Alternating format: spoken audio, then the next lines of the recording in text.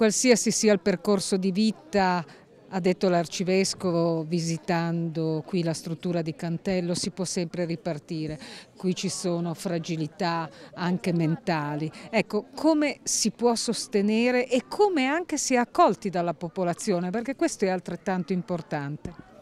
Dicevo prima che davvero Cantello è stato esemplare, forse perché è sul confine e sul confine ci siamo tutti, quindi eh, ci siamo trovati in una realtà che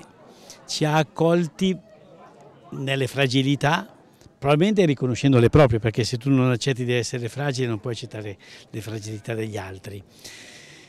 E devo dire che questa premessa è stata fondamentale, c'è stato anche qualche piccolo tentativo di sollevare questioni, ma ecco qui le istituzioni sono state formidabili, nel senso che han, ci hanno rassicurato al punto che oggi ci sentiamo, come vedete, in una condizione eh, che è favorevole proprio per questo riaccogliere. Non dico che possiamo essere un esempio da replicare su tutta la regione,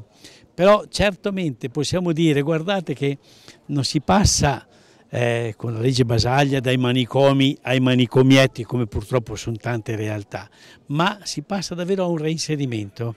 E il reinserimento significa la cura individuale delle persone, quindi con una professionalità